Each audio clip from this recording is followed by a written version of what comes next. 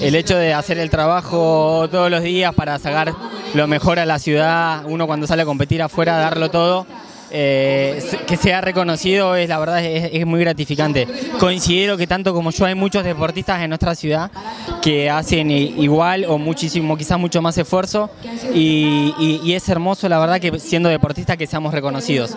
Así que agradezco mucho a, la agencia, ¿no? a la agencia, a todo lo que es el municipio de Río Grande. Bueno, y que un mensaje para aquellos que están comenzando algún deporte, sobre todo los más chicos, eh, que bueno, que está, empiezan este camino de, iniciar un deporte. Eh, ¿Qué consejo le das?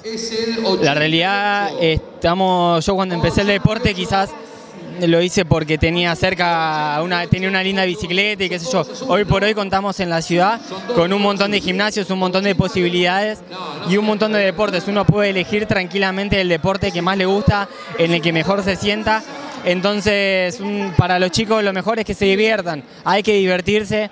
Hoy por hoy uno lo toma con un poquito más de responsabilidad. Eh, cuando te pones la camiseta de la selección de, Tierra del Fuego. Eh, así que la realidad es que poder hacer lo que uno le gusta y más cuando uno es chico es genial. Así que eh, considero que en cada uno de los uno y de los gimnasios que tenemos van a ser bien guiados los chicos. Así que principalmente es divertirse.